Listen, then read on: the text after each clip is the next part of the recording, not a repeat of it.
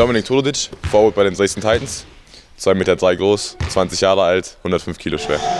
Dominik kam zu Saisonbeginn vom Perspektivteam des MTV Gießen zu den Basketballern der Dresden Titans. Mit denen will er unbedingt in die Playoffs und dazu musste beim Sparkassen Game Day gegen die Uniriesen aus Leipzig endlich ein weiterer Heimsieg her.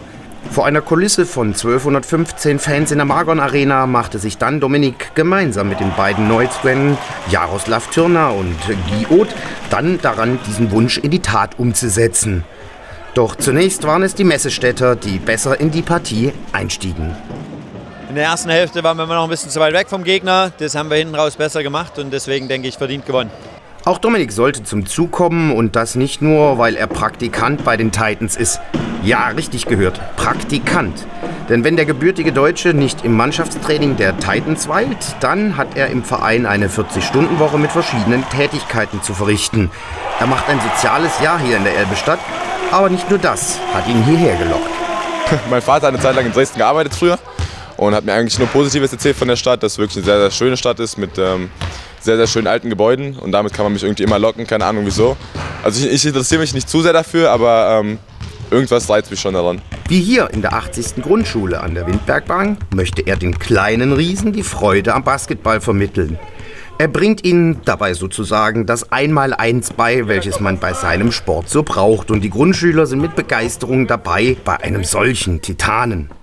Er trainiert uns gut. Und?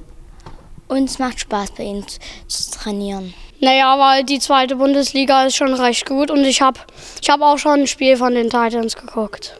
Leider waren bei unserem Besuch keine Mädchen in der Halle, aber die würde Dominik mit Sicherheit genauso intensiv und liebevoll trainieren, wie er das an diesem Nachmittag mit den Jungs getan hat. Aber Training ist für ihn auch nicht alles, daher kam es zu diesem Job. Ich wollte immer mal wissen, äh, was hinter einem Verein passiert. Äh, nur Basketball war mir halt nicht genug. Ich wollte mal gucken, äh, was so hinter den Kulissen passiert. Ähm, und die Titans haben einfach jemanden gesucht, der ihnen so ein bisschen äh, Unterstützung gibt, der ihnen ein bisschen hilft, ein bisschen äh, ein paar AGs macht und ein paar, äh, ein paar Aufgaben über, im Büro übernimmt und hat es einfach perfekt angeboten.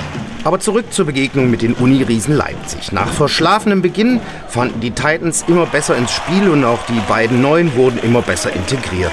In der zweiten Hälfte gelang es den Dresdnern, die Lage unter dem eigenen Korb zu kontrollieren und zugleich die Würfe jenseits der Dreierlinie zu verhindern. Die eigenen Ballverluste wurden deutlich weniger und endlich schafften es die Titanen, diese Leistung bis ans Ziel zu bringen und nicht mit sich selber wieder zu hadern.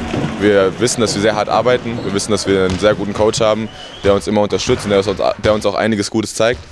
Ähm, wieso es jetzt eigentlich nicht geklappt hat in den letzten paar Spielen, liegt halt einfach daran, dass die äh, Pro B Nord sehr, sehr ähm, eng beieinander ist. Also die Teams sind sehr, sehr ähm, ähnlich von, der, von dem Leistungsstand her und ähm, dann verliert halt jeder mal gegen jeden und jeder kann auch gegen jeden gewinnen.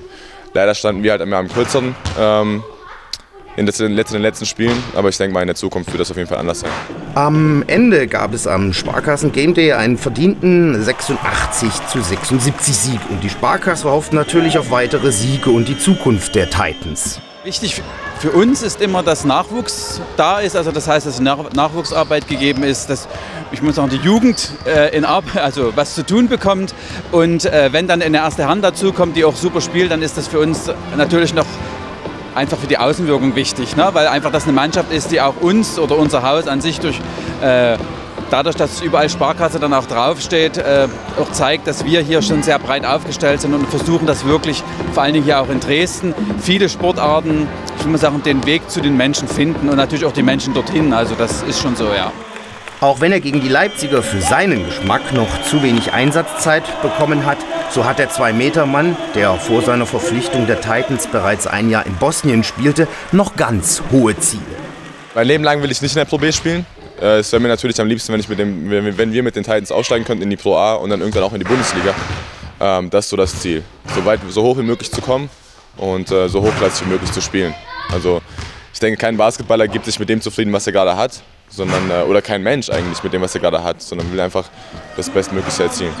Einen kleinen Dämpfer für die hohen Ziele des Dresdner Basketballers gab es allerdings bereits wieder am Wochenende. Da verloren die Elbriesen nach schwacher Leistung in Recklinghausen. Hoffentlich haben alle nach dem Heimspiel am 30. November gegen Magdeburg wieder einen Grund zum Feiern.